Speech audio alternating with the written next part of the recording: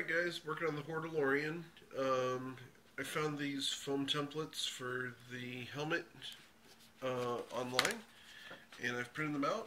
I've pinned them to an EVA foam mat and I've sliced them up using a very sharp X-Acto knife. Got a nice clean finish on it. Tried to glue them together with my favorite uh, super glue, Loctite Professional Liquid, and it held until I tried to bend it. And what comes apart is not that it doesn't hold it, it's actually too hard of a hold, and it actually cracked and broke at the seam instead of um, separating. So I need to find some rubber cement, slice the super glue ends off of these, and reattach them. It, that's actually a good thing for me because I don't like how wide the visor is set on this. Um, I wanted a narrower visor.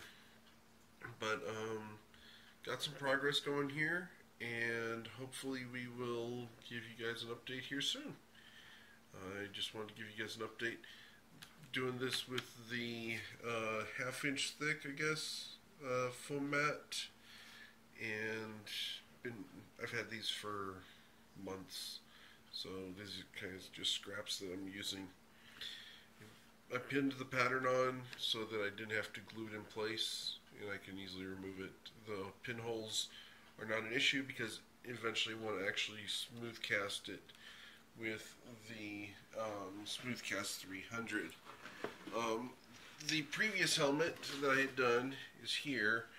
I put a coat of gold spray paint on it simply so I could see the dimensionality of it, and I didn't like what I saw.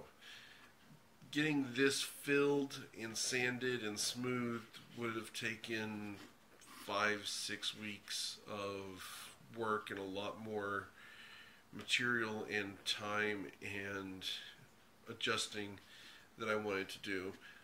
And in the end, it's too small. Um, my chin, you can actually see my full mouth out the bottom of it, and my nose is pressed up against the front.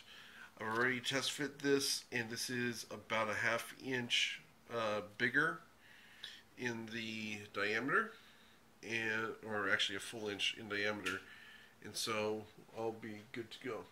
All right, catch you later. Bye.